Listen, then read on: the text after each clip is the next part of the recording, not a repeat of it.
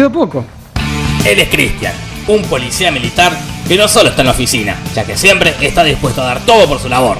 Uh, esto se está poniendo muy feo. Y él es John, un policía de las fuerzas especiales. Es intrépido y muy arriesgado.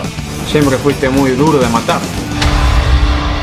Mire, algo muy jodido acaba de suceder.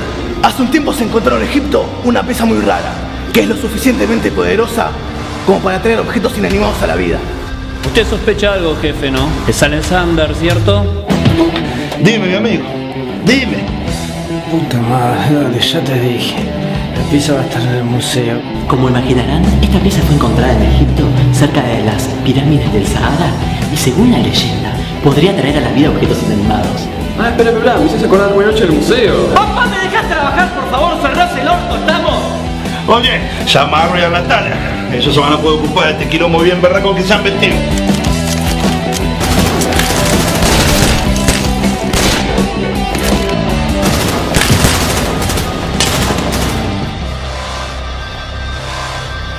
Dice Alexander, ya tenemos la pieza. ¿Y ahora qué? Espera, me mandaron un mensaje. Es el jefe. Dice que esto es para nosotros. ¿Pero a qué se refiere? Me parece que se refiere a eso.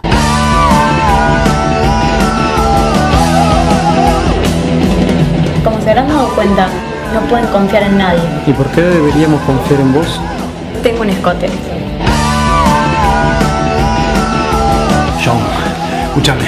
Los de camisa roja están buscando a los agentes, ¿ok? Toma, hijo de puta. Pero tranquilo, estoy rompiendo. Estoy rompiendo bien el orto. Así que vos sos el famoso John. Y vos sos el famoso vos. No, yo soy el que te va a transportar las patadas en el orto. Tiro. Acción. Explosiones. Pelea.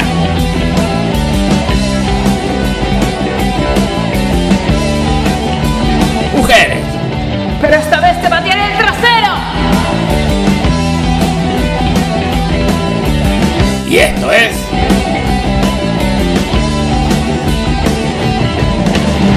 Un delirio de acción.